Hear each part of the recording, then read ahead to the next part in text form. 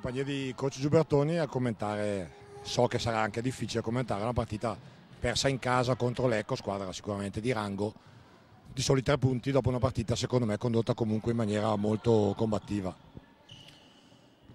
Eh, sì, no, va bene, non è che è difficile commentare, no? rimane la mare in bocca quando si perdono queste partite qua. Eh, è chiaro per, per tre punti in casa nostra con paio di decisioni discutibili, diciamo, diciamo discutibili. Sai che io non parlo mai degli arbitri, però quando le cose sono discutibili sono... Ma infatti, ma infatti tu non stai parlando di arbitri, stai parlando di decisioni discutibili. Esatto. Eh, no, eh, allora io ho presentato la partita da giovedì alla squadra sostenendo che secondo me Lecco è forse la squadra che interpreta meglio le 30 partite di campionato, nel senso che non hanno mai di cari di tensione, sono bravissimi in questa cosa, eh, ad affrontare ogni partita loro sono sempre sul pezzo e anche stasera sono stati sul pezzo.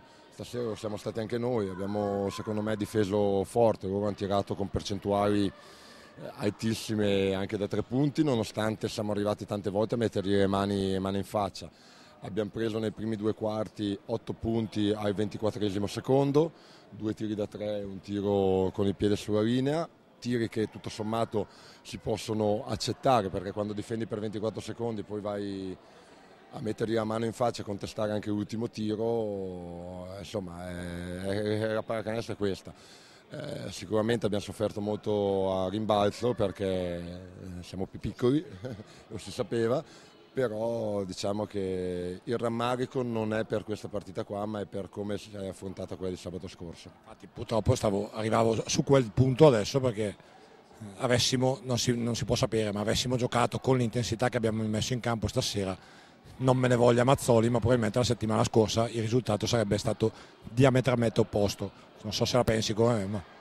No, non, non, so se andava diametralmente opposto il risultato, però sicuramente se tu giochi concentrato e in cinque in campo fanno tutti la stessa cosa, hai molte possibilità di, di fare belle figure e di portare a casa le partite. Poi ci sta a perdere di pochi punti come squadre come Reco, non ci sta a non affrontare le partite concentrati. Quello noi è dall'inizio dell'anno che te lo dico, non possiamo mai permetterselo in nessuna situazione. Allora diciamo che visto che io guardo la parte posit- il lato positivo, la parte, il, il bicchiere mezzo pieno riguarda comunque la voglia di giocare stasera che si è visto in campo e la squadra che ha voluto lottare e sicuramente è un buon viatico visto che adesso andiamo a affrontare una serie di partite che sulla carta sono quelle fondamentali per noi, per andiamo a affrontare tutte formazioni più o meno del nostro rango se non sbaglio.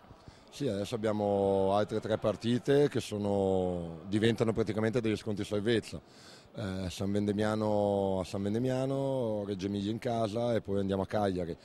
Eh, sono dei veri scontri di salvezza. Se l'atteggiamento con il quale affrontiamo le partite è questo, ce le giochiamo. Andiamo e ci giochiamo le partite con chiunque, come abbiamo fatto eh, anche in altre situazioni con squadre ben più blasonate. Ecco, comunque non ricordiamoci che è squadra di medio-alta classifica eh, dipende da noi, dipende da come andiamo. Poi se giochiamo così e gli altri sono più bravi, gli stringiamo la mano e gli diciamo bravi. L'importante è giocarsi le partite fino in fondo.